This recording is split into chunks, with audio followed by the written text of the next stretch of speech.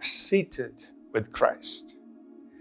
Ephesians chapter 2, verse 6 and raised us up together and made us sit together in the heavenly places in Christ Jesus.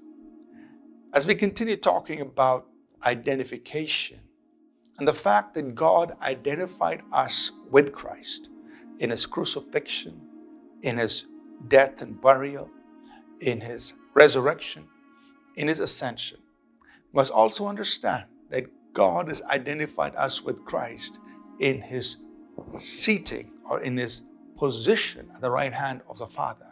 That you and I, in Christ, are seated with him at the right hand of the Father. So this puts you and me uh, spiritually in a place of great authority. Now, why would God do this for us? And of course, it's an expression of His amazing grace. It's a gift that He's given to us. It's a work of His grace that He's given to us because that's what He desired. He desired for us to be in Christ and to be seated with Christ in the heavenly realms. But this also has implications for us in our everyday life. That although we are in this earth and in, in this natural realm, and on this earth, the enemy, the devil, uh, and, and, and, and through direct attacks and through all kinds of other circumstances and situations may try to come against us. Really, in the spiritual realm, you and I are seated with Christ far above all of Satan and his demonic host. So think about it. You are actually in a position of great authority with the devil underneath your feet. God has done that on, a, on purpose so that when we walk this earth, we can walk with the authority of God in our lives. So when we confront the enemy, when we go against the powers of darkness, when we resist the devil, when we uh, expel evil spirits, we are doing it as people who are seated at the right hand of the Father.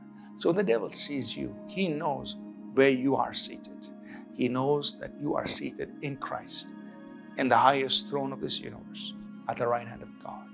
The question is do you and I, as believers, embrace that truth and live out of our position in Christ at the right hand of God? God has done this for us. This is truth, spiritual reality. Our identification with Christ has put us at the right hand of the Father.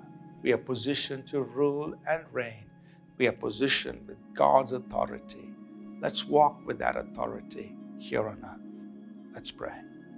Father, we thank you that we have been made to sit together with Christ in heavenly realms.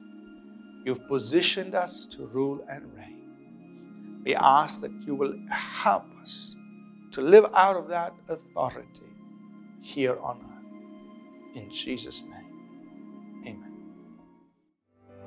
Thank you for tuning in to Living Supernaturally. For more resources to strengthen your spiritual walk, please visit apcwo.org.